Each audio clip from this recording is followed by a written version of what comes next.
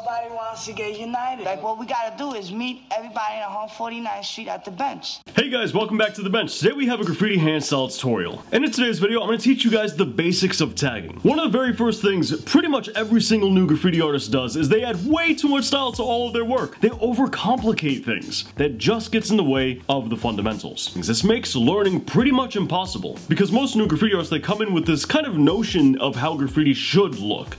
And they think it has to be crazy and wild and super stylish, so they try to implement all of that into their work without really understanding how letters function. And as a result of that, they end up messing up all of the fundamentals. And this prevents them from ever actually practicing the basics that they need to. You see, style is the ability to illustrate the fundamentals properly, and then exaggerate those fundamentals the way you see fit, the way you like. But those fundamentals still have to be present and they still have to be correct. Otherwise, all you have really is just mistakes. So let's start in a much more refined way. We're gonna keep things basic and begin using our basic structures, also referred to in other font-based art forms as the skeleton hand. Essentially, this is the letter in its most simple form. It's what you're going to use in order to learn how to do the font-based art form, in this case graffiti. From there, we move on to this chart right here, and this is really where everything begins. You see, this line right here is called the baseline, and think of this as the floor for your letters. This is where all of your letters are going to stand on. Now, this line here in the center is called the mean line, and this is roughly speaking where the center of your letters is going to land. Now, this line here at the top is called the cap line, and you'll want all of your letters to touch this cap line. When you do this, it'll ensure that all of your letters have the same proportions and are the same size, and as a result, have similar or comparable amounts of weight to them.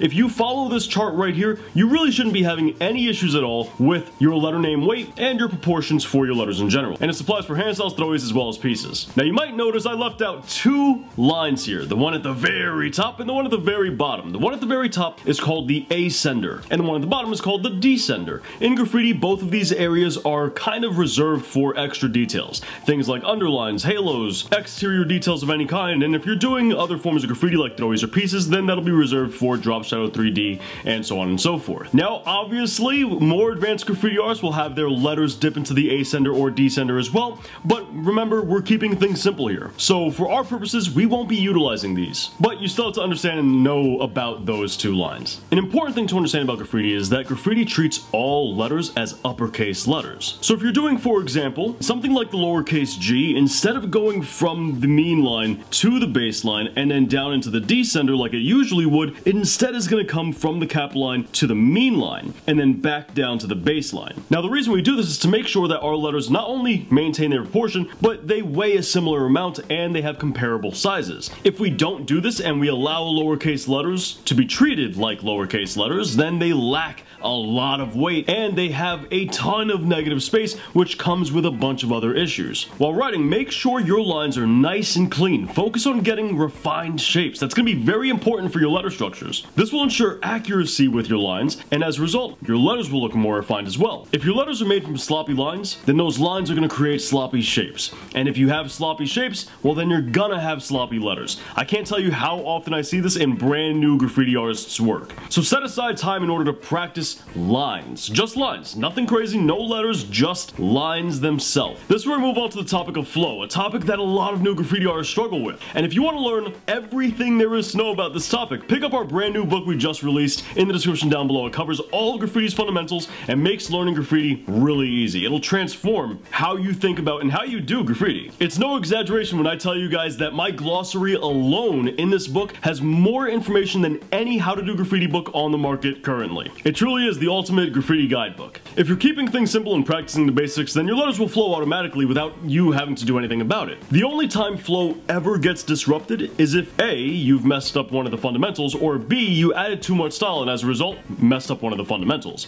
That's the only reason flow ever gets messed up. So if you're noticing that you're having an issue with flow, check your other fundamentals in graffiti and make sure that you've got those down pat. Another thing we have to keep in mind when utilizing this chart is the actual tool that we're writing with. You see, because if we're using something like a ballpoint pen here, it's got a pretty fine nib. And that means if we do a hand style that's really large, then we're going to end up having a lot of negative space because this nib is simply too thin for that size of a tag. On the other hand, on the other extreme, if we do a hand style with a massive nib, but we do that really small, then we're going to run to the opposite issue, where our hand style is too small for this large nib. Both of these have problems. One has too much negative space, which makes your letters look disjointed and weak, and the other one doesn't have enough negative space, meaning your letters look smothered and they lose letter structure as a result of that. This topic is known as nib width, and you'll want to use a nib that's appropriate for the size of the tag that you're doing. That covers the basic gist on how to use this chart. Over time, you want to commit this chart and how to use it to memory, because you're not going to draw this chart every single time you want to write your name, obviously, right?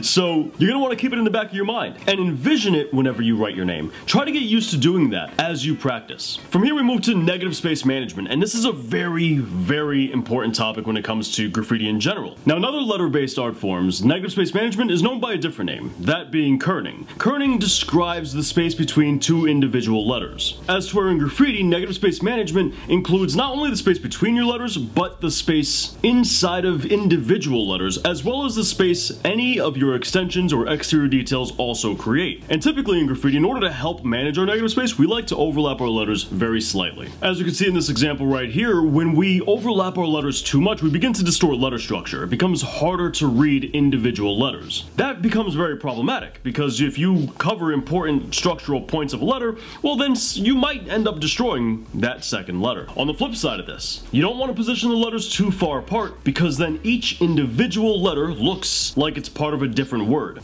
So in graffiti, we like a slight overlap. Nothing too crazy. Enough in order to make sure that the whole word reads as a word, but also not too much because we want each letter to have its own individual space and structure. So a very modest overlap is perfectly good. Now that we've gotten through all that, there's different kinds of letter structure that we should be talking about here. Earlier we mentioned the basic structures, the letters in their absolute simplest form, but there's another type of letter that's slightly more advanced, and these are called variant structures. My book has a complete list of all variant structures for every single letter. Now variant structures are alternate ways to write letters. They still don't have any style implemented, they're still in a simplistic form, and all variant structures flow naturally with all basic structures. So what's great about variant structures is they give you an alternate way to write a letter, a different starting point if you will.